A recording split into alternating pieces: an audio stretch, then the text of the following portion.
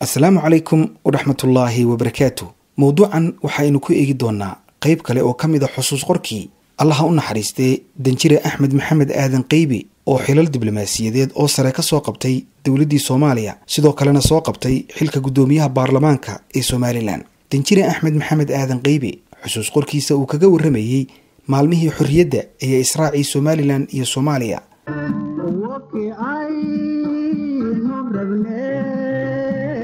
raxiiq isaga leh wakicaynu rabnee kifaaxi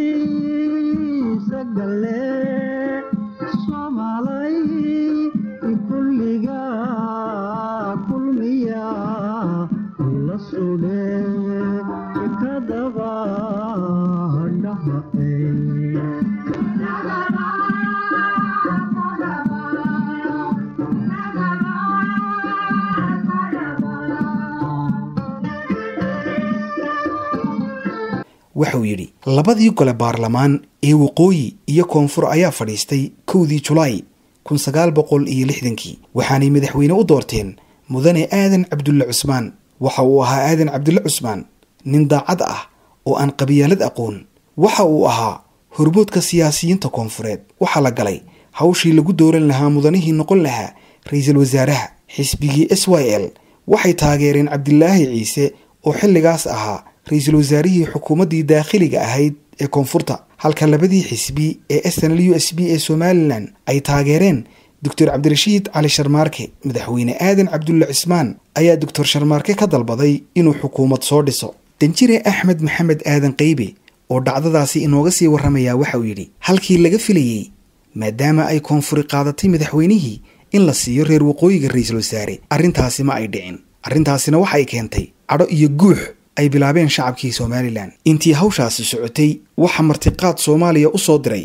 Madaxweynihii waddanka ciraaq oo lagu magacaabi jiray wakhtigaasi jenaraal cabdikariin qaasim si aanu uga qayb galno xuska sanad guuradii kacaankii ciraaq oo ahaa afar iyo tobankii julaay waxaana loo diray mudane axmed xaaji ducaale oo loo yaqaanay axmed keysi iyo aniga oo ah axmed maxamed aadan qeybi madaxweyne aadan cabdulle cusmaan ayaanu sagootin ugu tagnay waxaana nagu yidhi waxaan damacsanahay inaan siyaasiyiinta madaxda ah ku khasbo in ay xukuumadda ka qayb galaan. Markii aanu baqdaad gaadhnay buu yidhi danjire qeybe waxaana qaabilay madaxweyne cabdikariim qaasim oona weydiiyey haddii ay jiraan wax codsiya ah oo aan u soo bandhigaynaa. Waxaanu ku nidhi xukuumaddii soomaaliya weli lama dhisin ee ra'iisul wasaarihii oo keliya ayaa la magacaabay. Sidaas darteed wax codsi ah ma wadanno. Waxaase jiray dhowr arday oo soomaali ah oo qaahiro joogay inna loogu tababaro kulliyadaha ciidamada ciraaq taas oo uu naga aqbalay madaxweynuhu wuxuu noo sheegay inuu amar ku siin doono safaaradda ciraaq ee qaahira in ay la wareegto ardaydaas una soo wareejiyaan dhinaca caasimadda ciraaq ee baqdaad madaxweyne jenaraal cabdikariim qaasim wuxuu ciraaq ku qabsaday afgembi military waxaanu xasuuqay qoyskii boqorkii ciraaq boqor faysal. Ra'iisul wasaarihiisii nuuri saciid oo aad loo necbaa shacabkii ayaa inta ay qabteen gubay. Cabdikariim qaasim waxaa la isku dayey in la dilo ma dhiman laakiin dhaawac xun ayaa loo geystay. Wuxuu noo sheegay in ay shan xabadood isaga ku dhaceen. Askarigii ilaalinayay oo lagu magacaabi jiray wasfi daahir kaasina ay ku dhaceen in ka badan kow iyo toban xabadood. Danjire axmed maxamed aadan qeybi oo inooga warramaya xafiiskaasi ay kula kulmeen madaxweynaha ciraaq waxauu yidhi xafiiska madaxweynaha aanu kula kulannay waxaa yaalay kabadh muraayada ah oo uu sudhnaa dariiskii uu maalintaa gashanaa oo uu dhiigu ku qalalay. Wuxuu nagu yidhi haddaan afgembi xaqdarro ah ku kacay rasaastaas aniga iyo askarigii ii ilaalinayay kamaanaan badbaadnin sida la wada ogyahay dhowr sannadood kadib jenaraal xasan albakar iyo sadaam xuseen ayaa afgembiyey cabdikariim qaasim oo dilay. Markaan baqdaad ka nimid ayuu yidhi danjire qeybi oo aanu soo marnay magaalada qaahira ayaanu ardaydaas oo tiradoodu dhammayd lix arday ku wareejinay safiirkii waddanka ciraaq u fadhiyey magaalada qaahira. Magacyadooduna waxa ay kala ahaayeen cismaan cawad xaashi oo loo yaqaanay cismaan dacas ibraahim maxamuud sacmaal yuusuf xasan oo loo yaqaanay yuusuf dheeg maxamed cumar jees shariif cismaan cali cabdiraxmaan maxamuud cali bayr. Lixdaas arday ayay ahaayeen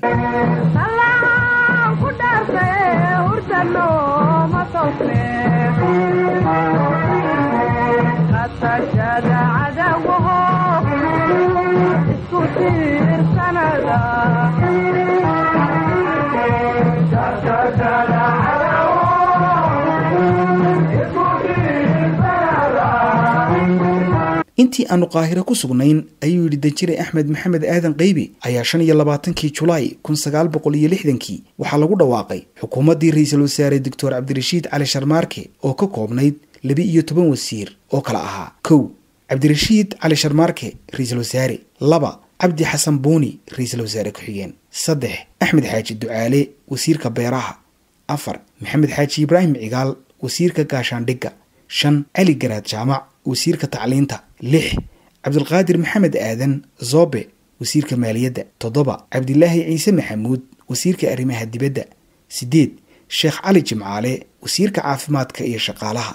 Sagaal sheekh cabdulle maxamuud wasiirka warshadaha iyo ganacsiga toban cali maxamed hiraabe wasiirka warfaafinta koob iyo toban cabdirasaaq xaaji xuseen wasiirka arrimaha gudaha labiyo toban maxamuud axmed maxamed wasiirka cadaaladda sidoo kale waxay xukuumaddaasi soo dhistay liiska wasiir ku-xigeenadii kuwaasi oo ka koobnaa shan wasiir ku-xigeen. Waxaanay kala haayeen kow maxamed sheekh daahir wasiir ku-xigeenka gaashaandhigga laba maxamed cali dacar wasiir ku-xigeenka arrimaha dibadda saddex maxamed isaaq salaad wasiir ku-xigeenka arrimaha gudaha afar maxamed cali wasiir ku-xigeenka waxbarashada. Shan xuseen cumar xasan wasiir ku-xigeenka beeraha. Doctor cabdirashiid cali sharmaarke waxa uu ahaa nin waddani ah oo siyaasadiisa aan galbeed iyo bari midna lagu xamayn jirin oo ku salaysnayd inuu gees kasta ha ahaatee soomaalida u raadiyo taageero iyo kaalmo. Waxa uu ahaa nin cibaado iyo alla kacabsi badan inkasta oo aanu qaraabakiilku ka madhnayn. Waxa uu ahaa nin aaminsanaa soomaali weyn. Danjire axmed maxamed aadan qaybe oo arrintan inoo sii faahfaahinaya waxa uu yidhi bishii julaay kun sagaal boqol iyo koob iyo lixdankii ayaa dastuurkii cusbaa ee soomaaliya afti loo qaaday. Intaa kadibna doctor cabdirashiid cali sharmaarke ayaa xukuumaddii isku shaandheeyey oo maxamed xaaji ibraahim cigaal wasiirka tacliinta ayuu noqday oo sida la sheegay uu isagu codsaday. Wasaaraddii gaashaandhigga waxaa lagu magacaabay sheekh cali ismaaciil oo reer waqooyi ahaa. Sanadka bacdi ayay labadooduba waa sheekh cali iyo cigaale iska casileen xilkii wasiirada ee wasaaradihii ay hayeen iyaga oo ku hadhay xubno baarlamaanka ah. Beesha isaaq koob iyo labaatan mudane oo baarlamaanka ku jiray oo ay labada wasiir ka mid ahaayeen ayaa ku tashaday inay qaadacaan xukuumadda oo hargeysa ku noqdaan koob iyo labaatankii xildhibaan ayaa laba ka mid ahaa muqdisho kaga hadhay oo dowladdii hoos kala heshiiyey kuwaas oo kale ahaa xildhibaan yuusuf ismaaciil samatar oo gaandi loo yaqaanay oo wasiirka waxbarashada lagu magacaabay iyo xaaji ibraahim cismaan oo loo yaqaanay xaaji basbaas oo loo magacaabay wasiirka ganacsiga. Halkaas ayaa go'aankii ay qaateen mas'uuliyiinta beesha isaaq uu ku noqday go'aan fashilmay.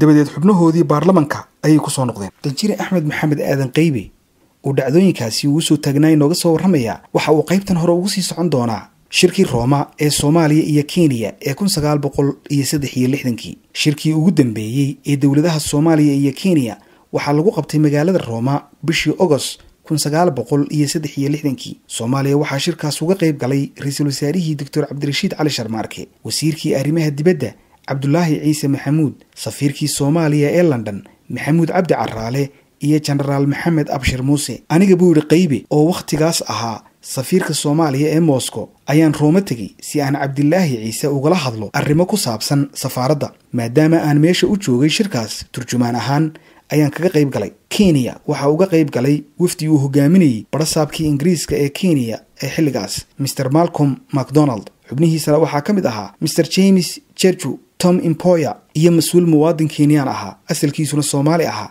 magaciisana la odhan jiray yuusuf xaaji cabdi. Barasaabku doodda kama qayb gelin ee wuxuu isu daayey mas'uuliyiintii soomaalida iyo kenya. Shirkaas waa lagu heshiin waayey. Aan ahayn in wadahadalka la sii wado maadaama xorriyadda kenya muddo yari ka harsanayd wakhtigaasi labiyo tobankii disembar kun sagaal boqol iyo saddex iyo lixdankii ayay kenya qaadan doontaa xornimada. Waxaa noo muuqatay in ay dowladda ingiriisku doonaysay in aan arrintaas meel la isla dhigin inta ay weli kenya xukumayso. Mushkiladdii n f d kuma ay dhammaanin iska bixiddii ingiriiska ee kenya soomaalidii n f d na waxa ay dagaalameen intii taagooda ahayd. Sida la wada og yahay kun sagaal boqol toddoba iyo lixdankii ayuu madaxweynihii zambiya kenneth kaunda shir uu ku dhexdhexaadinayo labada dal ku qabtay magaalada caruusha ee waddanka tanzaniya soomaaliya waxa uga qayb galay shirkaasi ra'iisul wasaarihii xilligaas maxamed xaaji ibraahim cigaal. Kenya waxa uga qayb galay madaxweynaheedii kenya jomo kenyatta. Natiijo wax ku ool ahi kama ay soo bixin shirkaasi